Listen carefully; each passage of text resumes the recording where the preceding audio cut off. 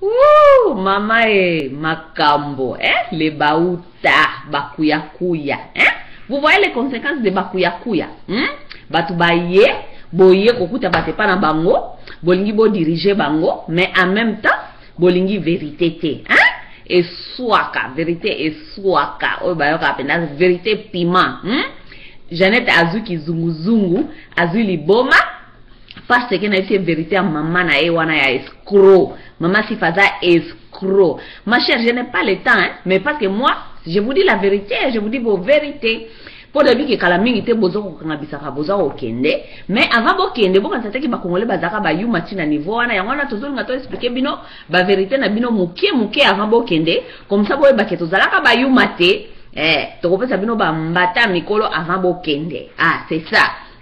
bon soit disant janete asiliki mpo nalobi ke mama na ye azo koescroke nation ah oui nakorepete yango nakokontinue korepete yango epuis nakosexcuse te parce ke oyo babengaka yango escroquerie na niveau ya etat et voilà ce que vous vous êtes en train de faire avec votre maman vous êtes en train d'escroquer la nation nous allons pas arrêter de le dire vous comprenez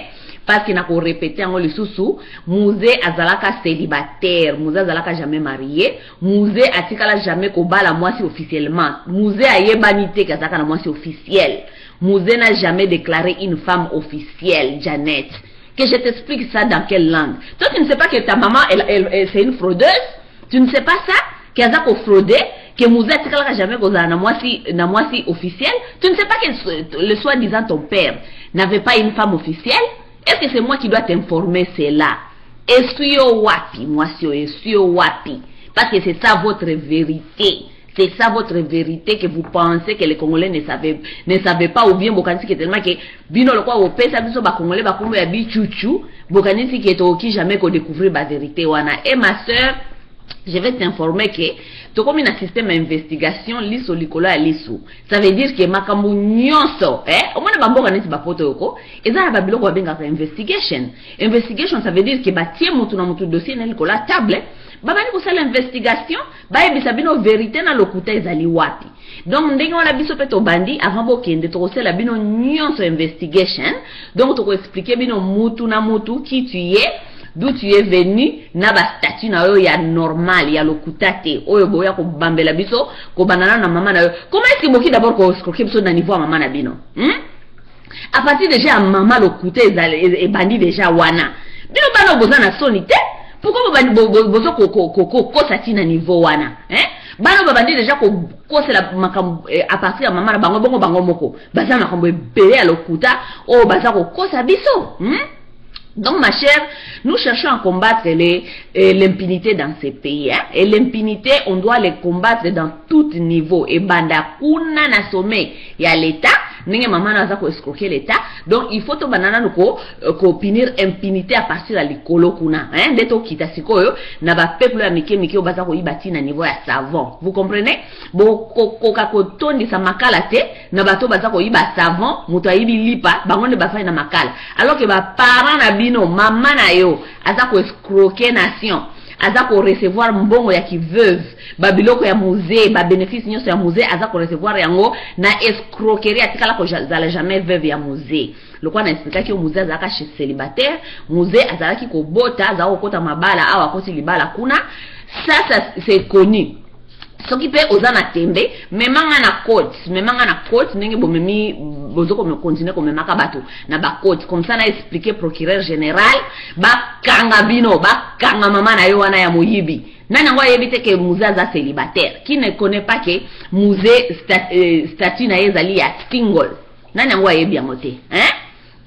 bo sikoyo bino nangi na explike eloko oyo bino etinde bino bosala escroquerie wana botinda mama na bino kuna abanda kokende koyibaka mbongo ya leta ezali boye pake na constitution na biso elobi boye soki papa akufi babeneficiaire na ye ezali mwasi na ye legal mwasi na ye legal je crois ke aza na 50 pourcent ya biloko mobali wana atikaki mpe na babenefice na ye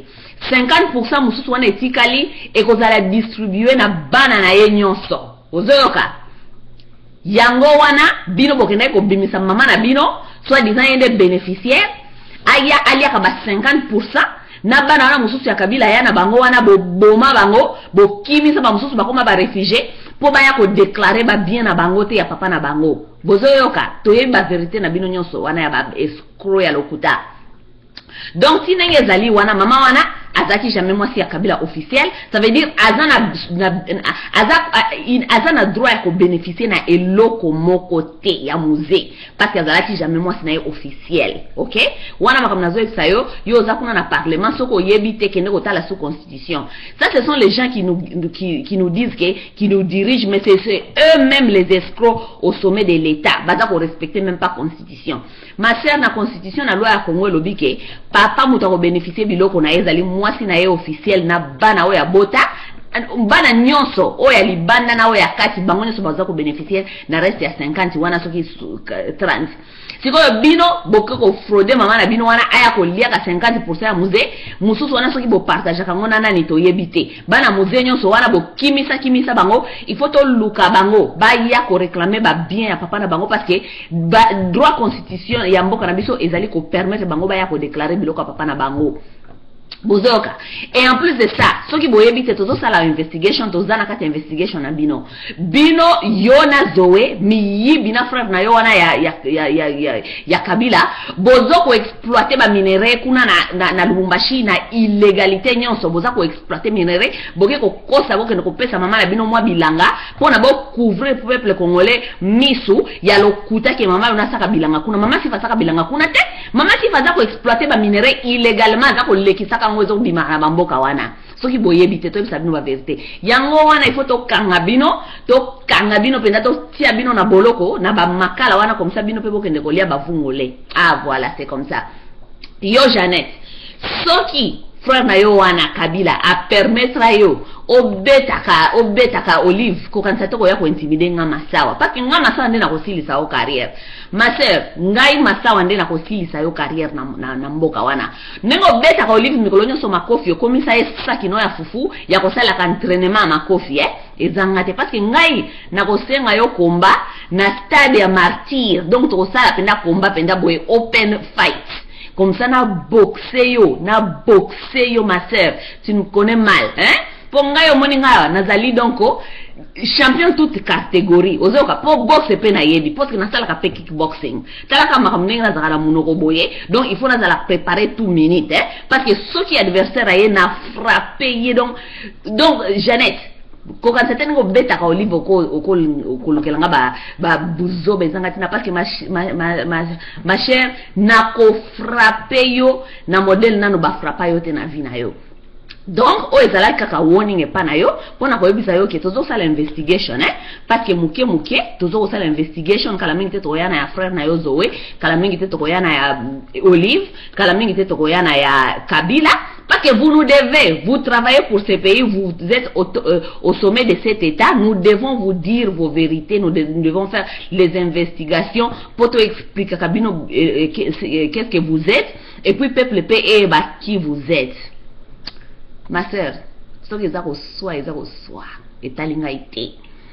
libanga na bwaki hein na bwaki et puis au répondre parce que oyebi que eza vérité swaka ndeko na ngai soki eza koswa yo de toute façon oza ndeko na ngai te kala mingi te banzela ya bazamba boza kozonga tosi to explikaki bino deja ndenge wana soki bozokanisa yango eza blague eza blague te hmm? bon attendeur salut